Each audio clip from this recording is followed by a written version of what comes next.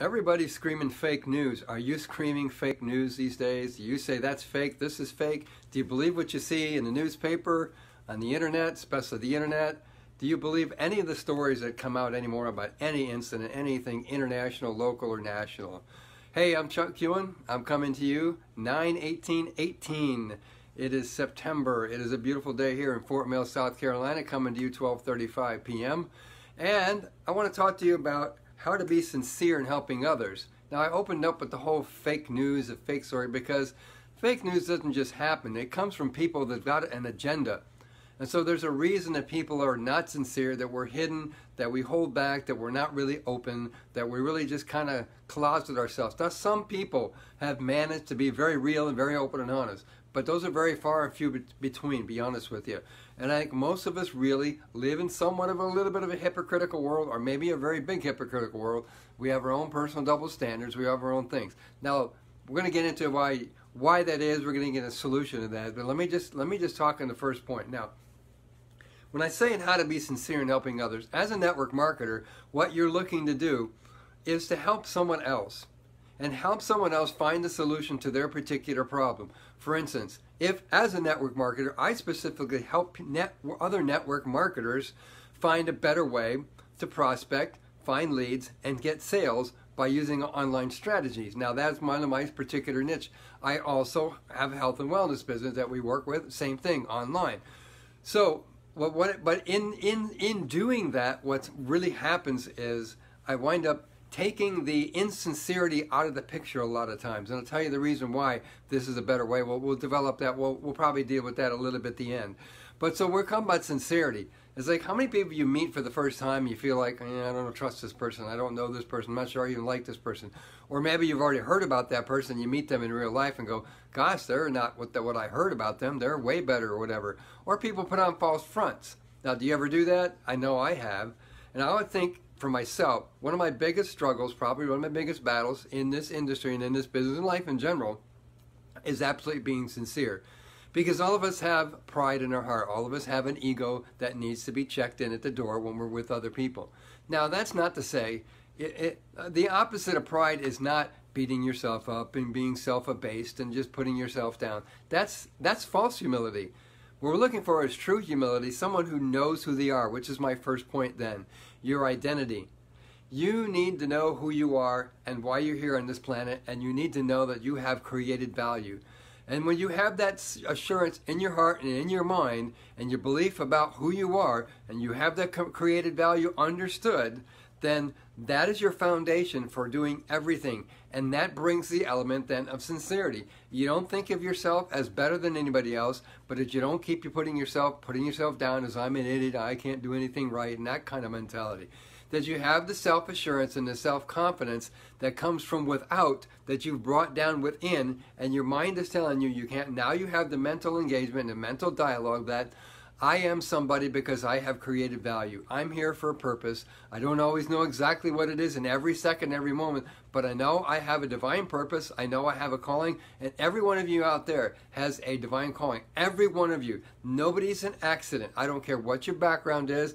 I don't care who's hurt you or who you've hurt or what you've done or what's happened to you. I don't know how many times you tried your network marketing business to succeed only to wind up failing again. You have to realize that you have a purpose and you have a creative value. Get your identity solidified. Get that belief in your heart and in your mind and in your mindset and in your language and in your dialogue and your self-talk and all those things. It's like somebody said, I, I, I, I, heard, I heard a speaker say recently that being thorough and being researching is good. Being analytical is not. Now, I'm not going to get into all that because I don't know everything about what he was trying to say. But the basic gist of what he was trying to say was when you overanalyze, then you start talking yourself out of things. You get start talking yourself yourself out of your identity because you say, okay, I have created value. I'm a network marketer. I'm this, I'm that. I, this is what I do. And then you start thinking, oh, I didn't do that right. I didn't do this right. I messed up on this. I didn't talk to the. I didn't follow up. I don't know. I, you, you start all those things start coming into your head. You start replaying over the conversations that you should have had where you messed up. You start replaying in your head about what you didn't do, about maybe you slipped up, maybe you were you're lazy, maybe you were procrastinating on something, maybe you were supposed to follow up with people and you didn't, maybe you're very disorganized. You you name it. There's a whole list of things where we self-sabotage ourselves. But where it all starts is belief about who we are and our identity. Now, I used to say, well, I'm not a XYZ, you know, this, this particular company I'm with. I used to think, I'm a rep for this company. And I realized well, that's not really it because, first of all, it's in health and wellness, and I'm not a health and wellness geek. I'm not. A, I'm not. A, I'm not a nut about health and wellness. I love to work out. I love to eat right. But my point is, I'm not an expert in it. The company is, and so it's like, okay, well, what about the business plan? Well, they got a great compensation plan. It. It works well. We love it. But the problem is, still, that's not who I am. That's not my identity. Well, I'm a network marketer. Okay, but what is beyond that? I'm not just a network marketer. I represent the industry, but what do I really represent? Well, I'm me. I'm who I am first before I'm a network marketer. So that's my branding, and we'll get into branding another time. I know we've talked about that a little bit in the past, but that's that's who you are. Who you are is really what your product is. And if you don't know who you are, how can you brand yourself? So you've got to get that identity. You've got to know who you are, why you're here, and what your purpose is. The second point is honesty. How to be sincere is being is simply being honest. When you make a mistake, own up to it. Be responsible for yourself. Be accountable to other people. Now, accountability can be overdone. It can be where I'm like, oh, I got to go talk to this guy because I messed up again. I've been in religious circles where accountability is almost like uh, is almost like bullying because you feel like, oh man, I really messed up. It's like I got to keep track of my my sins and my errors and my faults and my failures for the week. So I, the next time I get together with this group of people, I got to confess all these things. Now, I believe in confessing your faults, confessing your weaknesses, and, and, and openly bringing those things up. There, there is that. There is that. That's true. But the idea is not to do it so you can clear your conscience. The idea is simply to be honest so you can correct those mistakes, so you can move forward, so you can get into a better level of understanding your identity and the reality and really being sincere, so you can help people. For instance, I don't have to get into politics very much to know that we're very suspicious of politicians. I'm sure you would agree with that. We see something online, we see a headline. And now, after so much what we is, are told as fake news, I'm really wondering sometimes about stories, how stories are really reported, if they only tell you just enough facts. They're facts, but they're just enough just to manipulate or persuade you towards a certain conclusion or towards a certain proposition. Here's the problem with that. I'll give you a very famous illustration one of my history professors mentioned in college. He said back in the days of the Cold War, when the United States and the Soviet Union were really, really, really big time, uh, you know, after after Korea War, uh, those those years, probably you know late 50s, whatever, that uh, the the Russians um, advertised uh, the results of an international car race. Now, the facts were absolutely 100% accurate. But now listen, listen to this. This is how the how their news agency reported the race. International car race. Russians come in second place. United States finishes second to last, next to last. And so they told the facts. Now I'm going to tell you I'm going to tell you a secret behind that story. They told the facts. They were absolutely 100% accurate.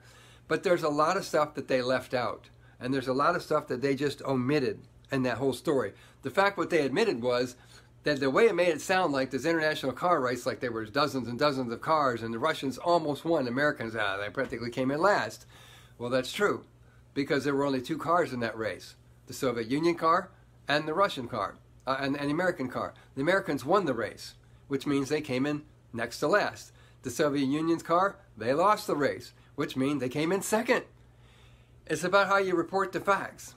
So when you're being honest, you need to be honest about your faults and failures. You also need to be honest to people because you don't want to give the idea to all your people, your prospects, your clients, everybody out there that, oh, hey, you know, I, I'm really going to make lots of money with this thing and you can really do this and I don't mess up. Yeah, no.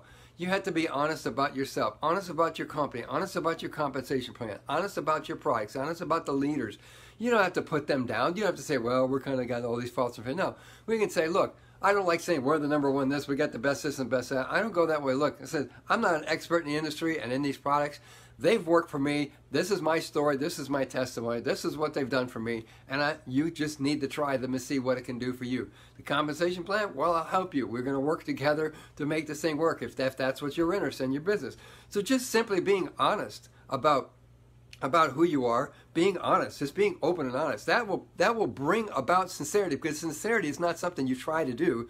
I believe that's a byproduct of you simply being knowing your identity, number one, number two, just being honest, being open and honest, being transparent, saying, hey, oh, I, I messed up, guys. I was supposed to tell you about this. I, I'm going to be honest here. Until about 15 minutes before I got on this, I had no subject. I absolutely had no subject, which is really weird because the last time I talked, I think on Sunday night, I said, I have no problem coming up with content. I got content. And I'm like, go two days, like, oh, crap. Sorry. It's like, I didn't have anything. And I realized, okay, well, I just have to be honest. I just have to be open and honest here. So the reality is that's what I am. I'm being open and honest. Tell you, I didn't have a topic. I didn't have any content. I didn't have anything. Let me get this thing off the screen here.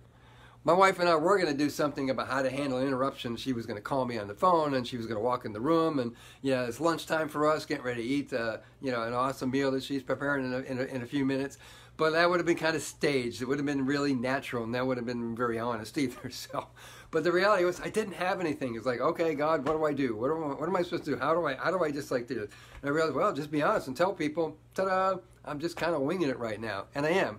But these are just my life experiences, and you just share life experiences, people, and sincerity becomes a byproduct because people want to buy from somebody that's real.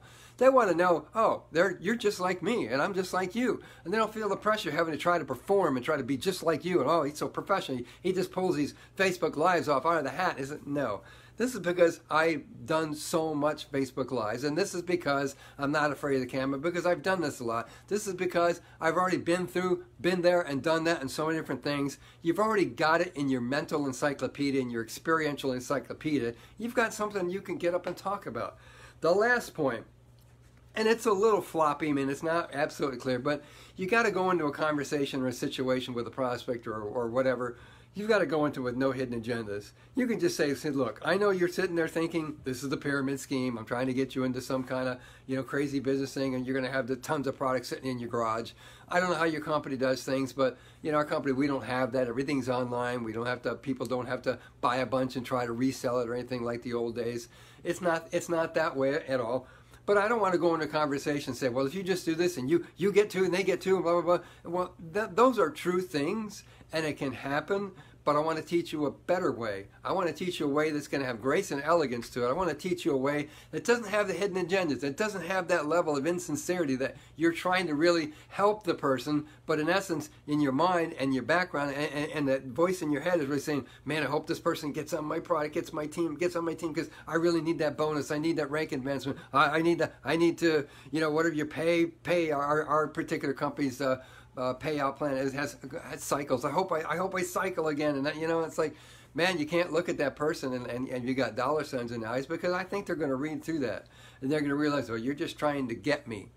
When you try to give to somebody, which is why we teach and preach constantly over value, value, and more value. Excellent, excellent content. So whether you're writing a blog, you're posting an ad online, or you're doing a Facebook Live, you need to have value and it needs to be free. Now, at some point, you need to be compensated for it. But you're, you're out to build a know, like, and trust principle. You're out to build an audience of people that know you, that like you, and that trust you, and want to do business with you those are the kind of people that you really feel like, okay, I can go into a store, I can go into this restaurant, and I know the manager, I know the waitresses, whatever, and you just have a good connection there, and they give you good service, and there's just a really good relationship because that is what it comes down to. Sincerity brings about solid relationships. So, recap know your identity. Know who you are so you don't have to struggle with being anything other than who you actually are. You don't have to try to pretend and bring that pretentious spirit into it. And just be honest about your successes and honest about your mistakes and failures. And last, don't go into a situation, conversation, a Facebook, a written thing, spoken thing. Don't go into those things with any kind of a hidden agenda. Just go in there and say, what can I help this person? How can I help this person? What can I help them? How can I help them get from point A to point B? Point B. How can I help them get out of the pain they're experiencing right now?